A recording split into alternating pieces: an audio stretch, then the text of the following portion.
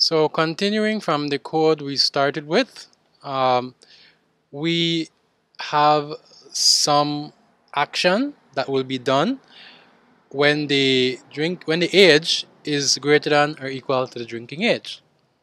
So if we run this again, just as a reminder, uh, it works perfectly fine once we are within the drinking age. But if we are not allowed to drink, then nothing happens. So let's fix that. So what we're going to do, uh, we're going to introduce the else construct. Okay, else colon. Okay, so what the else does, it handles the case where this condition turns out to be false. Okay, so down here, we're going to deal with the false case. Okay, so what should we do if this condition turns out to be false?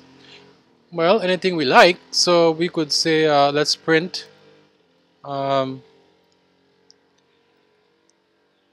one glass of milk coming right up. Okay.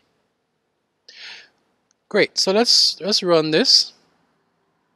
Okay, and let's enter an age of uh, let's say 15, and let's say the drinking age is 18. And so we have one glass of milk coming right up as the output.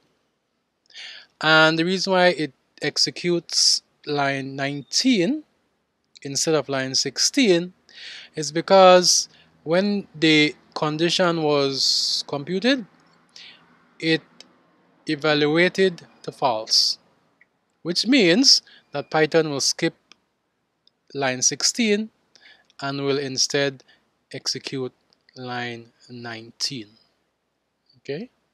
So this is how we deal with the false case. Okay so what I want to do, um, I want to take this code and in the next video we're going to look at it in Python tutor so that we get a better understanding of how the false case is taken care of.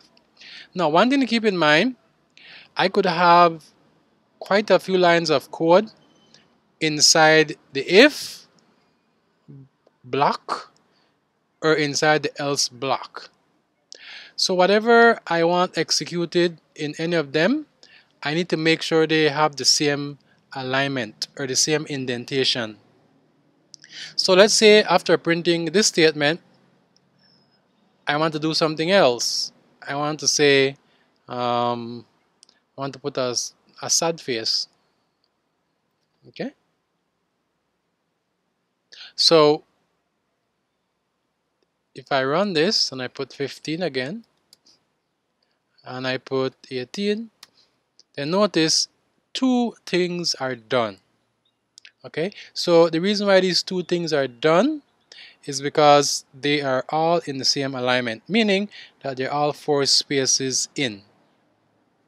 Now uh, if I decided to put this um, outside here okay outside here right? Then I want us to notice what happens.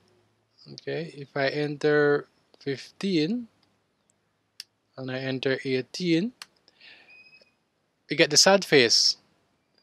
But if I enter 19 and I enter 18 I still get the sad face. And the reason is this sad face is a line that is independent of any of the condition. So this line will execute no matter if the condition is true or false.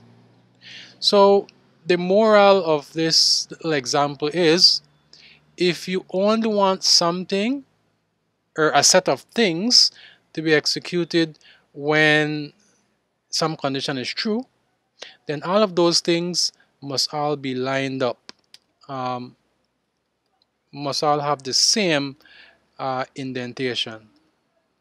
okay? Otherwise they will be executed regardless if it's true or false. So what I should have done was to one two three four was to have done that.